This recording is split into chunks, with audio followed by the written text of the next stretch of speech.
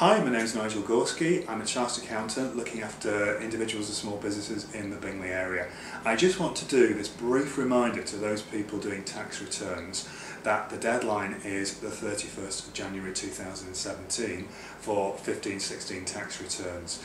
Now, for my practice, what I'm asking clients to do is get the information to me by Friday the 2nd of December, so I've got plenty of time to be able to digest everything, come back with any queries, also look for any opportunities that you might not have given me to save you a little bit of tax. Um, and come up with an answer that is the right answer for you. It also gives you time to plan for any payments. So rather than it being last minute, at least you know uh, well in advance that you're actually going to owe a little bit of tax. Now also I can provide you with a checklist from my system which gives you everything that you gave me last year so it means that you don't miss anything. Drop me an email if you'd like that. Um, and for those of you who aren't with the practice, the contact details are coming up now and you may wish to browse the website or contact me with any other questions. Thank you for listening.